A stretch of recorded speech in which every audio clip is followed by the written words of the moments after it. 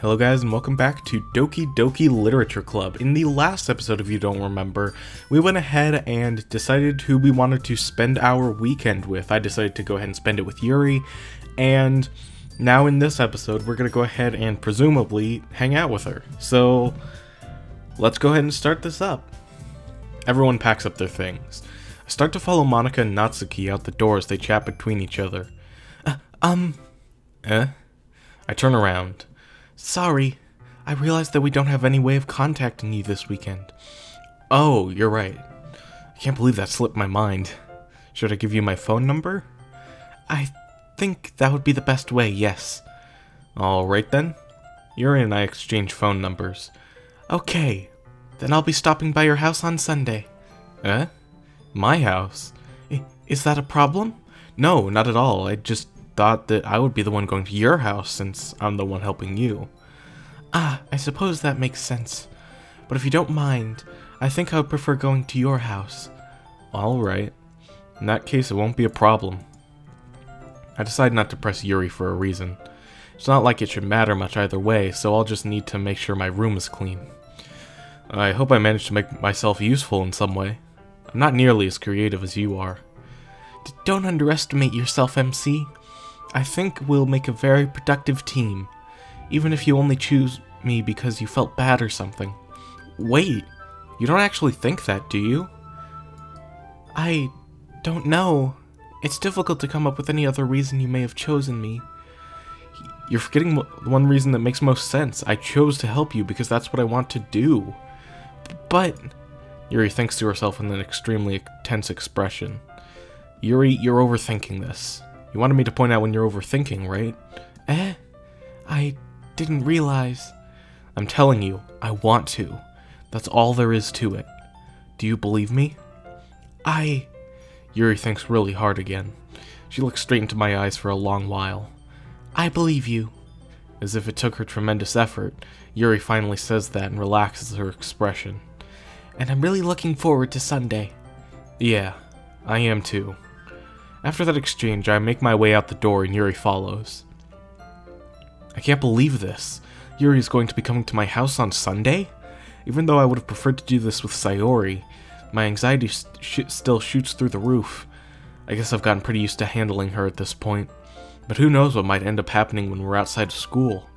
She even told me she was looking forward to it. I shake my head. Why do I feel nervous that Sayori finds out about this? It's not like we feel that way about each other. Besides, like Monika said, this is about the club. I have nothing to worry about. If I just go with it, then I'll have a good time. It's already Sunday. I've been getting increasingly anxious about Yuri's upcoming visit.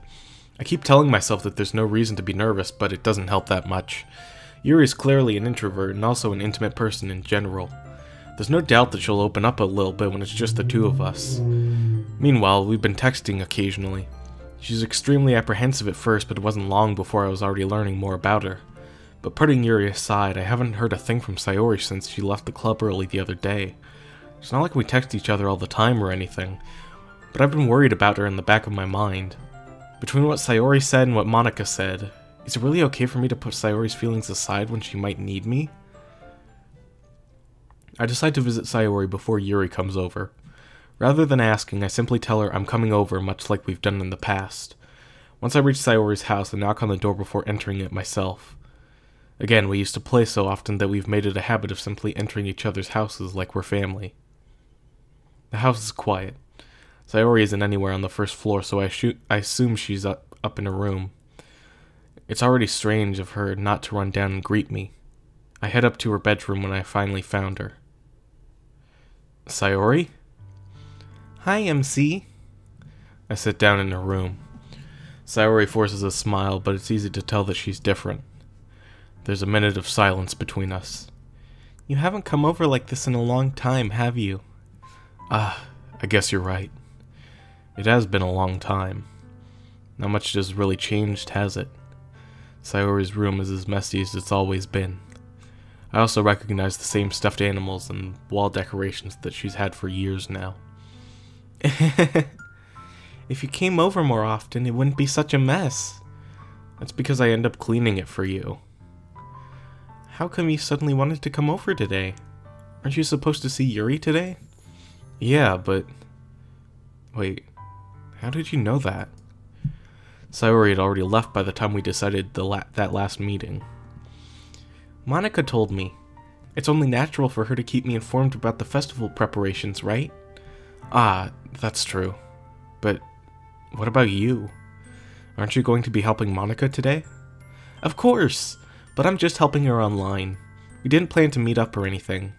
Ah, so it's just me and Yuri then. Yep. There's more silence between us. Sayori stares in a random direction. Everything about her behavior is really uncharacteristic. I finally get to the point. I just wanted to see how you were doing. After you left on Friday. When something's wrong, you can't hide it from me. I know you too well. So, Sayori smiles, shaking her head. That's no good, MC. Eh? Why can't it just be like it's always been? This is all my fault. If I didn't get so weak and accidentally express my feelings, if I didn't make that stupid mistake, then you wouldn't have been worried about me at all. You wouldn't have come here. You wouldn't have been even thinking about me right now. But this... This is just my punishment, isn't it? I'm getting punished for being so selfish. I think that's why the world decided to have you come over today. It just wants to torture me. Sayori? I grab Sayori by the shoulders. What on earth are you saying? Are you listening to yourself right now? I know something happened to you. There's no other explanation for you to be like this. So tell me already. Until I know, I won't be able to stop thinking about it. Ah. Sayori gives me an empty smile. You really put me in a trap, MC. But you're wrong. Nothing happened to me. I've always been like this. You're just seeing it for the first time. Seeing what? What are you talking about, Sayori? You're really just going to make me say it, aren't you, MC? I guess I have no choice this time. The thing is, I've had really bad depression my whole life. Did you know that? Why do you think I'm late to school every day? because most days I can't even find a reason to get out of bed. What reason is there to do anything when I fully know how worthless I am? Why go to school? Why eat? Why make friends? Why make other people put their energy and caring to waste by having them spend it on me? That's what it feels like. And that's why I just want to make everyone happy. Without anyone worrying about me. I'm in shock I can't even figure out how to respond. How is it possible that Sayori kept this from me the entire time that I've known her? Did she really want so badly for me to just not think about her? Why, Sayori? Eh? Why is it that you've never told me about this? It almost feels like I've been betrayed as your close friend. Because if I knew, I would have done everything I could to support you. Even if there's only so much that I could do. I would have tried a little bit harder to make every day a little better for you. That's why I'm your friend.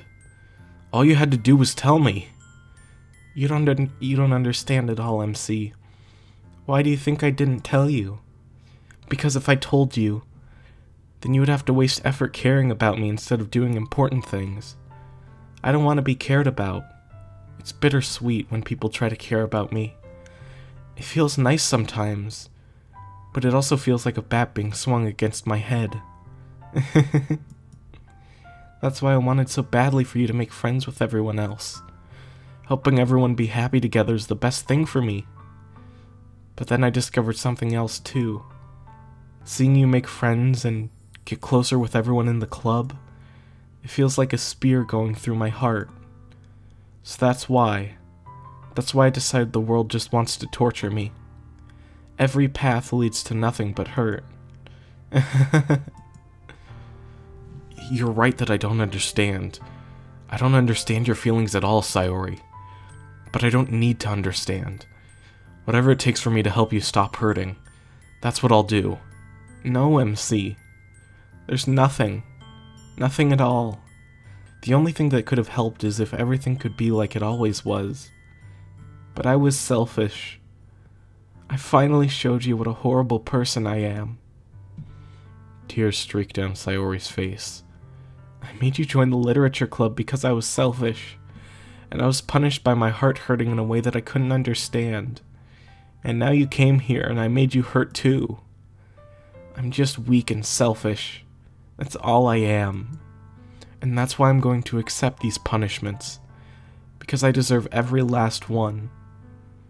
Without thinking, I once again grab Sayori's shoulders. This time I pull her into a tight embrace. Ah! MC. Sayori. I don't care if you feel selfish. I'm really happy that you convinced me to join the club. Seeing you every day makes it worthwhile enough. If I make friends with everyone else, then that's just a bonus. But please, never underestimate how much I care about you. I wouldn't have it any other way. MC. Sayori isn't hugging me back. Despite my arms being wrapped around her, Sayori's arms remain at her sides. She starts sobbing next to my ear. No, don't do this to me. Please don't do this. MC, I. Sayori barely manages to speak between her sobs. I don't know if I'm doing the right thing, but all I want is for her to know that I care. If you have it in you to call yourself selfish, then you have to let me be selfish too. No matter what it takes, I'll figure out what needs to change. I'll make these feelings go away. And if there's anything that you need me to do, then you'd better tell me. I'll get mad if you don't. I don't know. I don't know. I don't know. Gently, Sayori finally puts her arms around me in return. I don't know anything. It's all really scary. I don't understand any of my feelings, MC. The only time I'm not feeling nothing is when I'm feeling pain. But your hugs are so warm. And that's really scary too. Sayori lets me go. As she does so, I let her go as well. The festival's tomorrow. Yeah. It's gonna be fun, right? Yeah. How'd you like for me to spend it all with you? Um, uh, it's what I want. I promise. I. I think that would be nice then. Yeah. Sayori wipes her eyes. If I could spend the whole day here, I would. Of all days, this has to be the one where I have other plans. Maybe I should cancel. No, don't! Please don't. If you did that, then I really wouldn't forgive you. But it's almost time for Yuri to meet at my house. At the very least, do you want to come along and help out? It would be fun.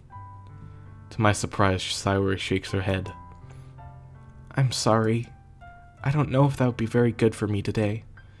You understand, right? Uh, it's kind of hard for me to fully understand, but I'm trying my hardest. It's okay. Don't worry too much about it. I'll see you tomorrow, okay? Alright. I look forward to it. I say goodbye to Sayori and exit her house. On the way home, I find myself still feeling uneasy. But it's hard for me to keep thinking about it when Yuri is about to come over too. I think Sayori is right. I shouldn't be worrying too much. We're definitely going to have a great time tomorrow. I should just focus on what's ahead of me. As I approach my house, I see something that makes me feel a moment of panic. Yuri? Ah, thank goodness. You're a little early. I'm sorry I wasn't home yet. Were you waiting for a long time? No, I just got here. But I started to get really nervous when nobody answered the doorbell. You always could have texted me. If I had known, I would have reassured you and hurried more on my way home. Ah, I suppose that's true. I didn't think of that, for some reason. It should be common sense to do that, but I decide to ignore it. Anyway, let's go inside. I see you brought a lot of stuff with you. That's right. And did you manage to find everything I asked you to buy as well? Yeah, pretty much. At least I hope I got everything right. I'm sure it'll be fine. I take Yuri to my room. The first thing she does is glance around curiously, which makes me feel anxious. It's so clean. I cleaned it before you came over, so... That's very considerate of you to do. Ah, uh, no. I would be really embarrassed for my room to be a mess while you were here. Hmm. Well, I do enjoy cleaning. I would have gladly helped you clean. Uh, that would be even more embarrassing. Wait, don't look in there. I snatched Yuri's wrist, which was in the process of opening a desk drawer of mine. Uh, ah, I'm sorry.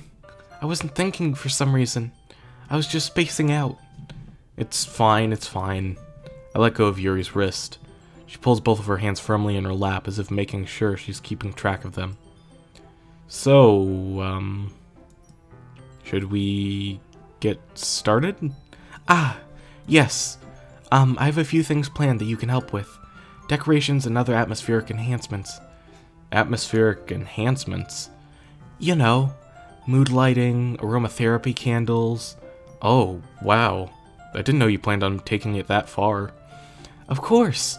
I want to help our guests to a faraway place, although many will stop by just out of curiosity. And for cupcakes, I guess. I'm determined to provide an experience that will leave them wanting more. That's great. It's easy to forget that you're a pretty intense person. Ah, uh, intense? I guess that's the best way to put it. Is that a bad thing? No, not at all. It's something that I like about you, actually. I, is that so? That makes me feel relieved. And kind of happy. Yeah, no need to be so anxious. You can relax a little. Relax. I brought some things for relaxation. I was going to use them during the poetry event. Oh yeah? Like what? Let's see. Yuri rummages through her bag. She pulls out a few candles and a wooden cylinder-shaped object. I did some shopping on the way here, so I happen to have these in my bag. I plan to cover the windows in black paper and use the candles to light the room. I think that would be amazing, don't you? Yeah, that would be really neat. What's that wind thing, though? Oh, this? It's a diffuser for essential oils. How familiar are you with aromatherapy? Not familiar at all. Ah, is that so? It's one of my favorite contributors to a positive atmosphere. Depending on the oils or herbs you use, you can change the mood of the air itself. You can even feel it permeate through your body. Relaxation, positive, positive energy, romance, reflection. It's almost like magic. Yuri takes a cylinder and pushes a switch on the bottom. In just a moment, a thin ray of vapor begins to sprout. Whoop. Spout through a small hole in the top. Wow, that smells wonderful. What kind of mood is that one for? This is a jasmine essential oil. It smells a little sweet and flowery, right? Yeah, that's a good way to describe it. I chose jasmine for the event because it provides more than relaxation.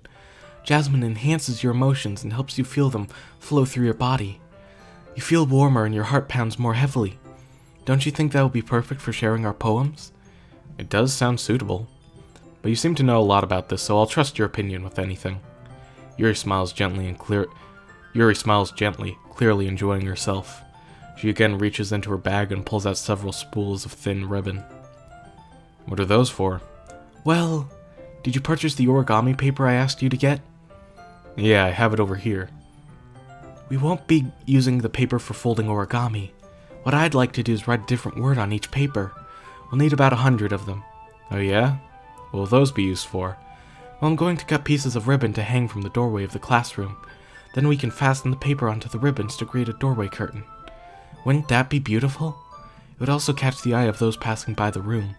It may attract some to peek inside. That's really creative. I had no idea you'd be so good at this, Yuri. Is that so? Well, I suppose I do get a little intense, as you'd put it. Yuri giggles with red cheeks. Is it just me, or is she more relaxed when it's just the two of us? Or maybe it's the excitement that she feels from sharing something that she enjoys. Here's a marker, MC. You can write any characters you want. I'll help you once I finish cutting the ribbons. Uh, alright. Sitting on the floor together, the two of us get to work. I carefully draw a different character on each paper, doing my best to manage my bad handwriting. Yuri unravels a long strand of red ribbon to her desired length. Then she reaches into her bag once more and pulls out a pocket knife. Uh? The knife is strangely beautiful. The silver handle has an intricate pattern of waves etched into it. The blade itself is gently tinted blue. That's no ordinary pocket knife. It looks really fancy. Ah, well... Embarrassed, Yuri looks away. What is it? You're going to think it's weird. Yuri, whatever it is, I have no reason to judge. To each their own, you know? If you promise you won't be weirded out. Yeah, I promise. Alright. The thing is, I'm kind of into knives. They're just so pretty. I can't help it. I don't know what it is. The combination of craftsmanship and feeling of danger, maybe. Ooh, what am I saying? Please don't think I'm weird for this. you're, you're laughing at me. No, I'm not laughing at you. It's just funny how nervous you get about sharing. Well, it's an interesting thing to be into, I guess. But I think it kinda suits you. Suits me? Yeah, it's kind of intense. Besides, it's a really cool looking knife. I can't deny that. It is, isn't it? Yuri relaxes her expression once again. Would you like to hold it? Sure, I'll check it out. Yuri carefully hands me the knife, with the handle facing me. I take it and turn it around in my hands. Feels heavy and extremely solid. Where do you even get a knife like this? Curious of its sharpness, I feel the point of the knife with my index finger. Ow! MC, why did you do that? I didn't expect it to be that sharp. I barely touched it at all. It's my fault. I should have warned you. This knife is extremely sharp. It can cut through skin like it's paper. Oh no. A small drop of blood trickles down the side of my finger. Yuri takes my hand and gives the wound a closer look. Ah! She stares at it and noticeably, noticeably fidgets. If you're squeamish, I'll go wash it off now. Ah! Without warning, Yuri puts my finger in her mouth and licks the wound. I feel her tongue curl around my finger. Startled, I instinctively pull my hand back. Uh, oh! Please forgive me. I wasn't thinking. I.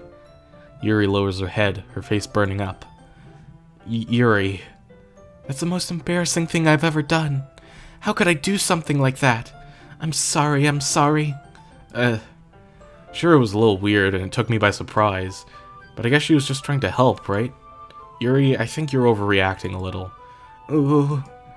She doesn't lift her head. What if she doesn't recover from this for the rest of the afternoon? Uh, Alright, you know what? This might be a stupid thing to do, but I do it anyway. I take Yuri's hand and lick her index finger in return. A MC! Did, did you really just do that? Now we're even. Yuri just looks at me like I did something wrong. I knew that would be a bad idea. If not for the sweet aroma of the jasmine oil, the air would be extremely heavy right now. You're so weird, MC. Yuri giggles shyly. Eh? You're calling me weird? I have no response to that. Where do you keep your bandages? Uh, I don't think I need one actually. It was just a tiny cut. Look, it's already stopped bleeding. I see. That's relieving. The tension is quickly lifted. We each resume our respective activities. I watch Yuri's knife cut through the ribbon like it's nothing but air. Meanwhile, I continue to make progress on the paper.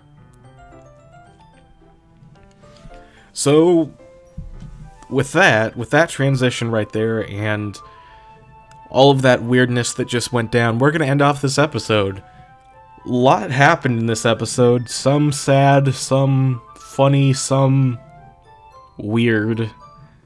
So, uh, thank you guys so much for watching. And in the next episode, we're going to go ahead and uh, finish making these decorations with Yuri and maybe see what happens after that. Hope you guys enjoyed, and I'll see you guys next time.